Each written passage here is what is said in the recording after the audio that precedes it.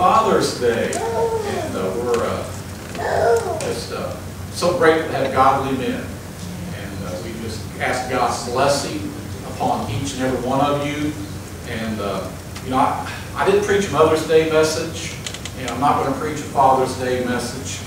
So I can do one of two things. I can tell you how you need to buck up, or I can tell you how great you are. And um, so, buck up and be great. Amen? the end. Now we're going to we're going to go ahead and get into uh, back into Acts. Uh, let me just also remind you, since we are going like a verse by verse study through Acts, uh, to remind you that uh, all these messages are recorded and they are on our website. So if you happen to have to miss a Sunday, uh, you can go back and catch up. Uh, EvansvilleCrosswalk.com. EvansvilleCrosswalk.com. And also, if you do miss and you would like to, to, to, to give, you can always give through EvansvilleCrosswalk.com. It's very easy to do. You just click, click, type, click, and you're done. Something like that. So I just want to let you know that uh, we do have that uh, available to you if you uh, need that. All right. Acts. We're going to be looking at chapter 3 this morning, beginning with verse 11. Acts chapter 3, verse 11. Now, as the lame man that we talked about last week was healed, held on to Peter and John, all the people ran together to them in the porch, which is called Solomon's, greatly amazed. We see the lame man here who is no longer lame. Amen. We saw that great healing last Sunday. We see this man, it says he held on to Peter. He clung to Peter. Normally in the Bible, when you see somebody healed, it says, you know, they ran off and told everybody, or he said, go your way and, and don't tell anybody, or they went about just celebrating what had just happened to them. I can see, I can hear, I can walk. And they're just excited and they kind of move on and, and enjoy their newfound physical freedom. But here we see something a little bit different. It says, this man clung to Peter. He clung to him. He was right there with him. He wasn't going anywhere. Now the word held on to or to hold on means to grasp. It means to adhere. It means to remain. I looked up some different translations of this word and this phrase. And one of them is firmly clung to Peter. Another translation says he had his hands on Peter. I mean, he was right there, hanging on to him. Another one says he wouldn't let go of Peter. Another one says he threw his arms around Peter. But it wasn't just like a big hug. I mean, he was just holding on to Peter. Where Peter went, this man was going. He was just so thrilled with what had happened in his life that he wasn't going anywhere. It was an ongoing thing. And we see that this man is still there over in chapter 4 and verse 16. He is joined to them. He actually may have went to jail with them. I mean, this guy wasn't going anywhere. And we'll also find when we get to chapter 4 it, uh, that uh, uh, Peter, uh, he was present when Peter and John were being interrogated in a private setting.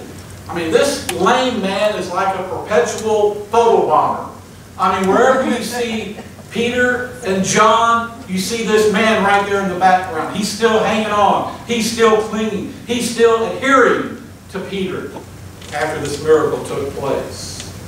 Now, the Greek word held on portrays the, the meaning of forceful and aggressive. He was forceful about being present with them. He was forceful about hanging on to them. And it's not only used in the physical sense, but it's also used to describe his attitude. He had an attitude, I'm not going anywhere.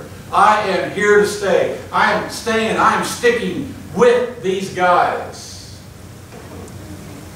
Why? Because of what Jesus did, amen?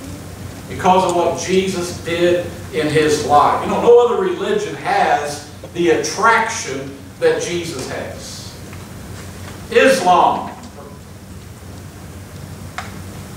doesn't have that much of an attraction. Buddhism,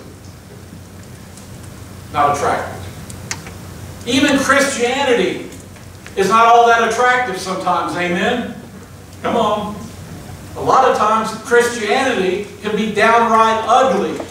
Because of people's Christianity, that's why many people aren't in church today, because they said, if that is a Christian, I don't want anything to do with it. Christianity sometimes is not all that attractive, but Jesus. But Jesus, that's a different story.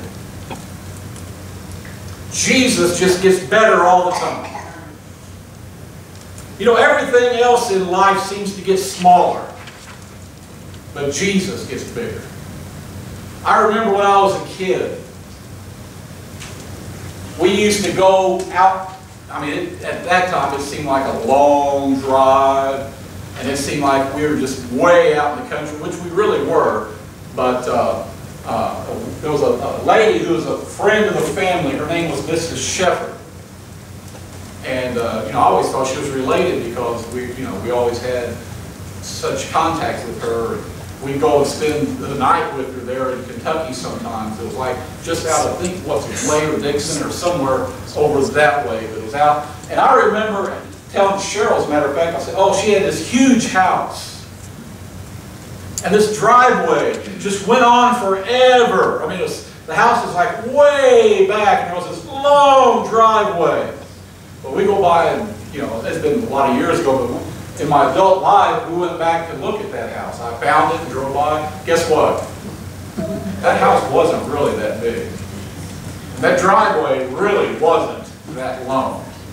But it, it, it got smaller as time went on. I can remember we had a lot of family relatives that weren't really related. But uh, there was a gentleman, I called him Uncle Bob. You know, he, you know, he had a thing for my mom. You know, he was always trying to get her to go out. Well, my mom, when my dad died, uh, uh, he, uh, you know, she just never dated. She never got married or anything. But Bob didn't have a chance. You know, but he always tried, and and he tried to get to her through me you know, by being nice to me. And, and uh, anyway, I remember one time I did something for him. He, he pulls this billfold out and he hands me a $5 bill. So I told my mom about it. Guess what my mom made me do? Give it back. I had to give it back. Because she was on to Uncle Bob. she knew what he was all about. She said, if he was your dad, he wouldn't pay any attention to you. That's kind of what Bob was. Had a guy one time, I had a, a, a, a probation officer. Yeah, I had a little trouble. I was riding a motorcycle without a license, and they caught me. And I was about, about 12 years old, 11, 12 years old. And so I had to see this probation officer like, you know, six or seven times. And, and uh, he was sitting there, and he asked my mom, he says, so you drink coffee? She said, no. Said, well, do you have some coffee here? She said, well, yeah. So maybe I could come by and get a cup of coffee sometime. Why would you want to do that? You get a cup of coffee at McDonald's. that was my mom. Didn't have a clue. But back to that $5. That $5, man, that seemed like a fortune to me at, at uh, you know, six years old or however old I was. Five, well, yeah, five or six years old maybe. That seemed like a fortune. You know, I mean, I appreciate $5 today, but it just doesn't have the same impact that it had back then. So things get smaller, but Jesus, Jesus just keeps getting bigger. So these folks, they saw this lame man whom they knew totally healed. Now, you know, you hear about somebody getting healed or you see on TV somebody getting healed, you know, our skeptical mind says, well, you know, were they really sick? Were they really crippled? You know, is that real? But when it's somebody you know, and you know the situation, you know they were crippled, like I shared about that young teenage girl when I was in Bradenton, Florida. And I knew she was crippled. She came with those braces every week, and I saw her healed, and I saw that miracle, and I saw her walking normal ever since. I knew that was a miracle. I knew that she was totally healed. And that's the way it was with this lame man. They saw him every week, every time they went to the temple. They saw this lame man. They knew his history. He'd been that way for 40 years. And all of a sudden, he is healed. And they were amazed, it said. They were greatly amazed. But the only problem, church, is this. They were focused on Peter and John. They were thinking Peter and John were all that. They were thinking, wow, look what these guys did. Aren't they something? And they wanted to get close to Peter and John, just like this lame man wanted to get close and hang on and cling to and adhere to Peter.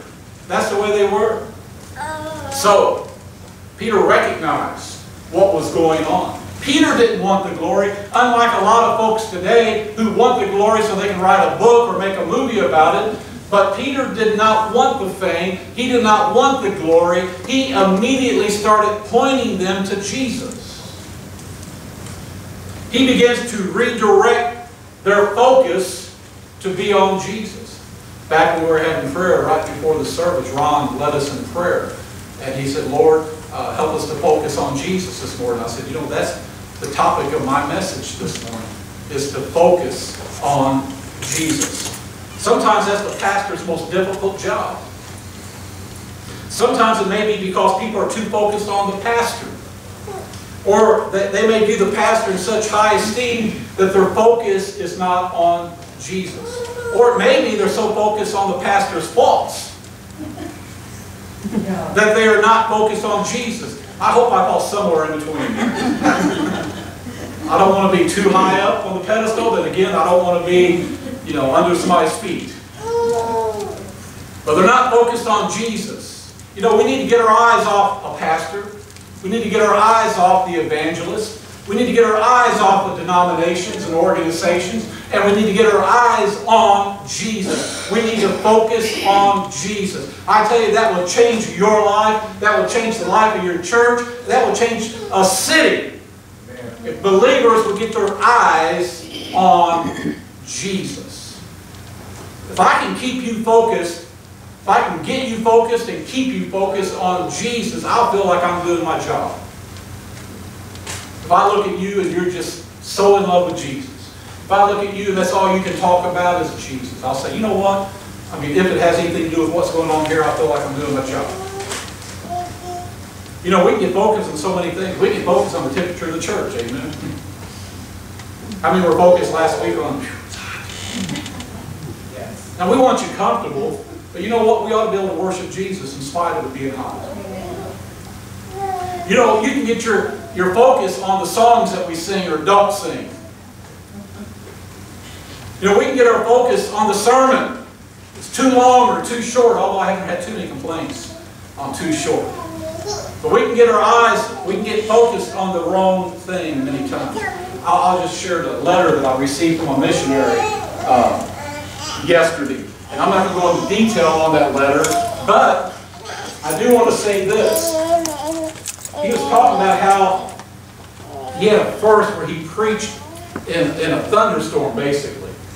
They were having an outdoor meeting. There was hundreds of people that showed up for this meeting. It's pouring down rain. And what did they do? Oh, well, it's raining. I guess we're going to go home and, and forget about the meeting. No, they stood out there in the pouring down rain, the thunder and the lightning, and sang worship songs and prayed, and just for three hours. So finally, this preacher, this evangelist, this missionary said, you know, it's not going to quit raining. So he went out there in the thunderstorm and preached and, and prayed for people and saw people healed and delivered. Where do you think their focus was? You've got to be focused on Jesus to do something like that. I'm afraid here in America, perhaps we don't have that kind of focus.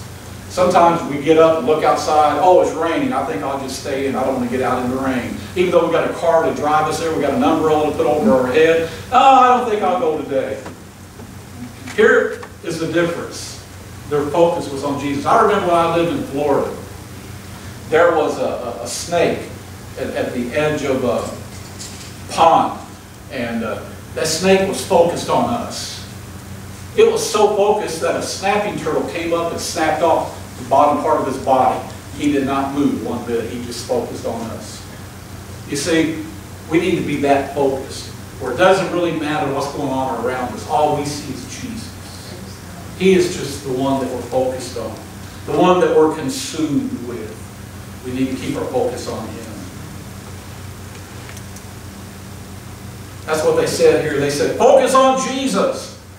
If we will determine to focus on Jesus, I can promise you that you will not be disappointed. You will be amazed if you keep your focus on Him. Don't focus on me, you'll be disappointed. Don't focus on anybody on this platform, you'll be disappointed. Don't focus on anybody in the church. You'll be disappointed. We're humans and we make mistakes, and at some point in time, you'll be disappointed. You know, you don't even focus on miracles that take place because that will wane and you will be disappointed. You've got to keep your focus on Jesus. He will not disappoint.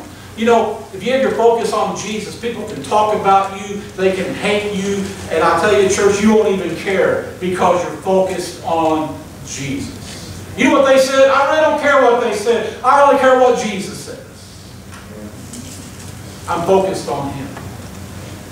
Circumstances in your life can be terrible, but it will not affect you because you're focused on Jesus. When you're tempted, focus on Jesus. That's the only way you can overcome. You know, overcoming temptation is not in just fighting and struggling against it. No, you just, the more you're tempted, the more you focus on Jesus. What you focus on gets bigger. If you focus on that temptation, it's just going to grow. If you focus on your circumstances, they're just going to grow. We got to focus on Jesus. Don't focus on your mountain. Focus on Jesus. What you talk about will consume you. Let me say that again. What you talk about will consume you. Don't talk about your problems. Don't look at your problems constantly. Talk about Jesus. Look to Jesus. There's a chorus we used to sing. Turn your eyes upon Jesus. Look full. What is that? That's being focused. Amen. Look full into his wonderful face.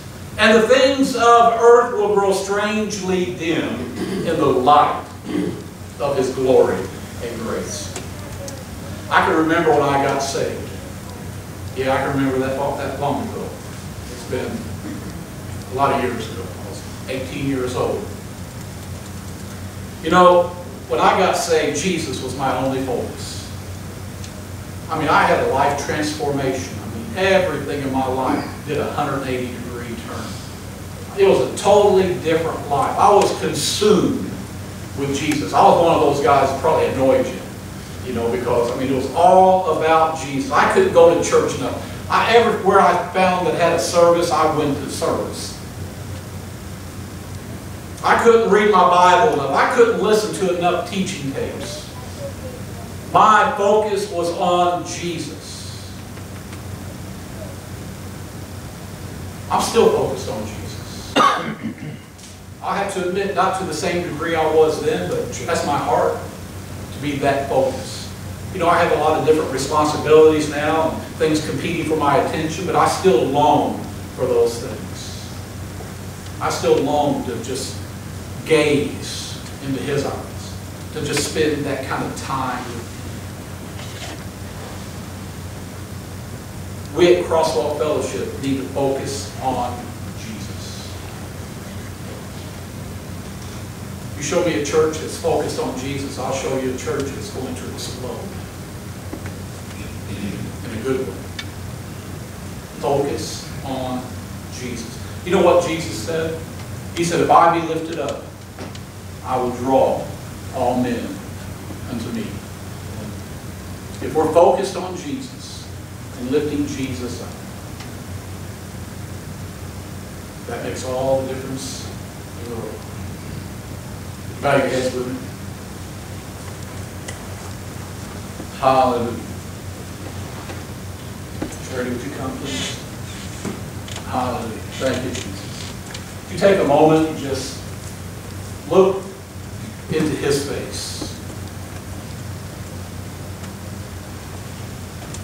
Just look into the face of Jesus. Just meditate for a few moments on his goodness. Hallelujah. Hallelujah. Let me ask you a question. Have you lost your focus? Has everything else grab your attention?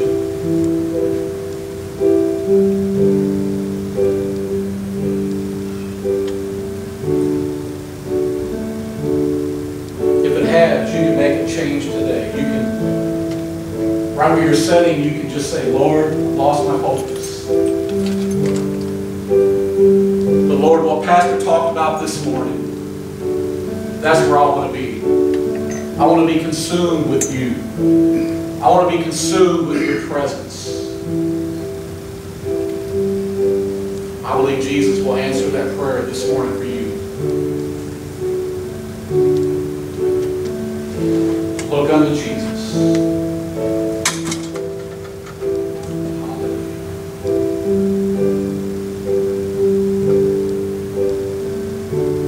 I want to lead you in a prayer. If, if this is your prayer this morning, I want you agree with me as I pray. Lord Jesus, this morning we thank you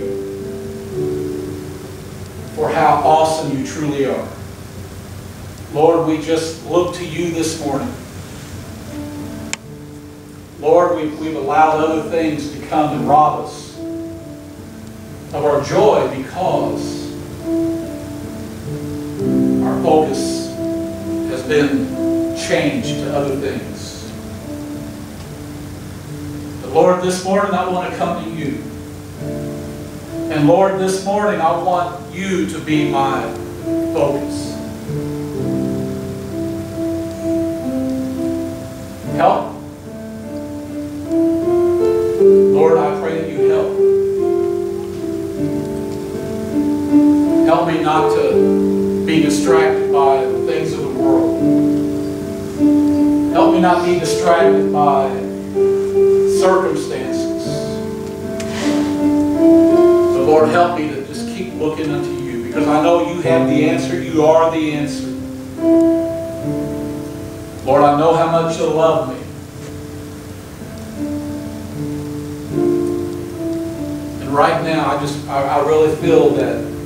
enemy saying to someone, he doesn't really love you.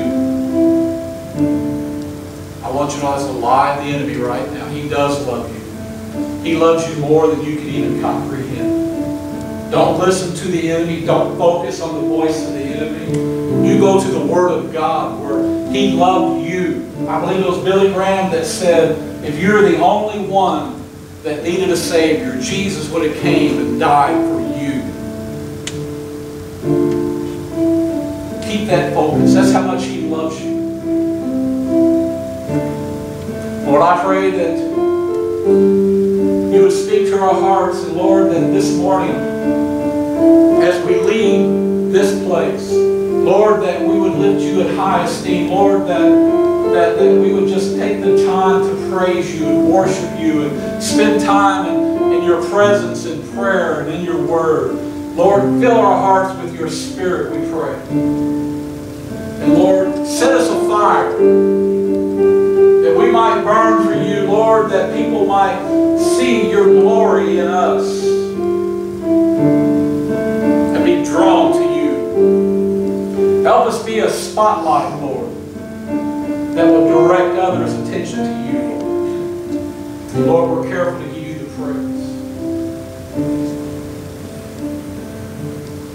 Hallelujah.